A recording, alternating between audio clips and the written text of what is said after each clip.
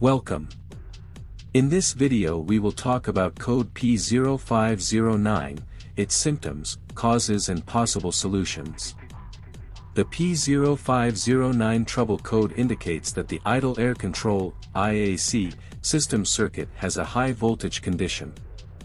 The idle air control system regulates engine idle speed by controlling the amount of air entering the engine bypassing the throttle plate. Code symptoms P0509 1. Engine may stall at idle or have difficulty idling. 2. Rough or erratic engine idle. 3. Check engine light, CL, illuminated on the dashboard.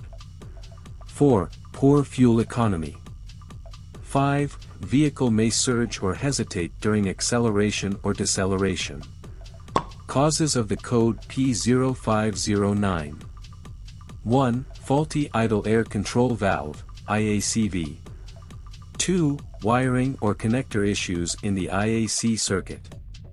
3. Corrosion or poor connection at the IACV connector. 4. Short circuit in the IACV wiring. 5 faulty engine control module, ECM, or powertrain control module, PCM. Code Solutions P0509 1. Use a diagnostic scanner to retrieve the trouble code and verify the issue. 2. Inspect the wiring and connectors associated with the idle air control valve, IACV, for any damage, corrosion, or loose connections. Repair or replace as necessary. 3.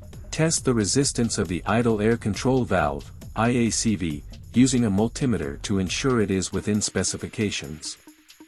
Replace the IACV if it is faulty. 4. Check for proper voltage supply and ground to the IACV. Repair any wiring or connector issues found. 5. Clear the trouble code and perform a test drive to see if the issue persists. If the problem continues, further diagnosis may be required, and consulting a qualified mechanic is recommended. They can perform advanced tests and inspections to identify the root cause of the high voltage condition in the idle air control system circuit.